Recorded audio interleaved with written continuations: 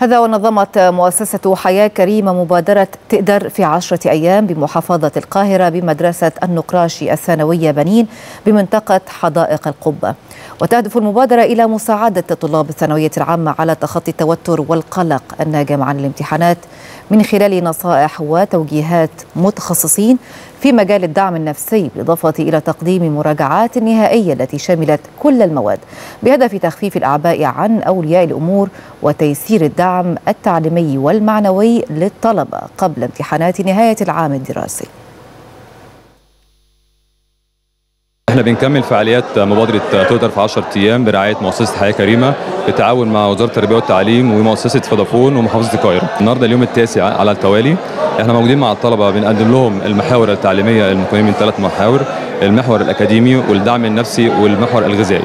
بنقدم لهم الملخص زي ما بيقولوا كده هوت الكبسولة النهائية خلال 10 أيام.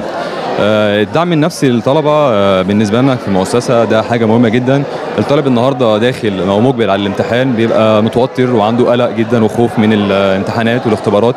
لا إحنا النهارده بنقدم له الدعم النفسي بنخليه متقبل الوضع ويتقبل الوضع بعد كده بعد الامتحانات هو واولياء الأمور الدعم الغذائي النهارده بنقدم لهم وجبات للطلبة من حيث برضه إن هي تساعدهم على التركيز أكتر ويكونوا متواجدين معانا ويتفاعلوا مع الطلبة. عندنا مادة التاريخ وعندنا مادة التربية الدينية وعندنا مادة اللغة الإنجليزية ودول مقسمين على ثلاث مراحل وبيكون ما بينهم فواصل وبنتم توزيع وجبات على جميع الطلاب في فترة البريك ما بين كل محاضرة أو كل حصة وبالفعل الحمد لله قدرنا إن إحنا نوفر للطالب كل ما يحتاجه من مبادرة حياة كريمة بحيث تكون داعم ليه في إن شاء الله امتحانات الثانوية العامة. الطالب لما جه وحس إن هو بيعامل معاملة حسنة آه وبيتعامل مع المدرس من المدرسين المرموقين اللي اسمهم معروف في الشارع بدأ ثقته فينا تزيد وبدأ يطلب حاجات خارجة عن الجدول المعدود من قبل المؤسسة. يعني طلبوا مثلا مراجعة تربية دينية طلبوا مراجعة تربية وطنية. فبالتالي إقبال الطلبة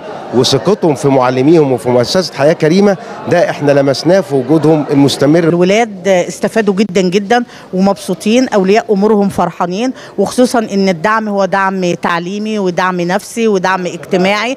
في لقاءات توعية كتيرة لأولياء الأمور دي. كانت حاجة كويسة قوي علشان خاطر يدعموا أولادهم في الثانوية العامة. الولاد نفسيا هديوا جدا كتير فالحقيقة مجهود مشرف ومبذول من جميع أعضاء مؤسسة حياة كريمة. كل الشكر والتقدير ليهم. طلاب جم يعني ذهلوا من الاستقبال والأعداد الكبيرة اللي جت لأن كانوا موجودين معانا أحسن مدرسين في الوزارة مش في حدائق القبه بس. ودول أصلا أساتذتهم وآبائهم قبل ما يكونوا أساتذة ليهم يعني. فشكرا لمؤسسة حياة كريمة على الدور الجميل ده والعمل الخيري. وأجمل حاجة في العمل إنه بيدور بحب.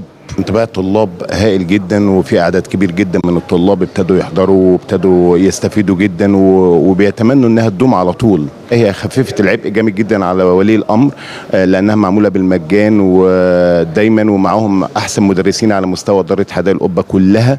في مجهود واضح جدا من مؤسسة حياة كريمة بالتعاون مع وزارة التربية والتعليم. في تنفيذ توجيهات القيادة السياسية في رفع المعاناة عن كاهل الأسر وخصوصا الطلاب زي ما إحنا عارفين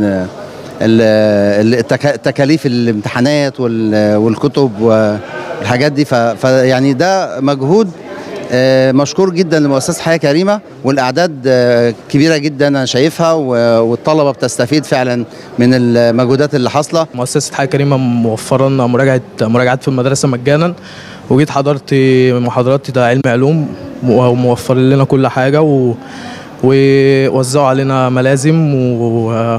وبصراحة يعني تعبانين معانا الأيام اللي فاتت كلها.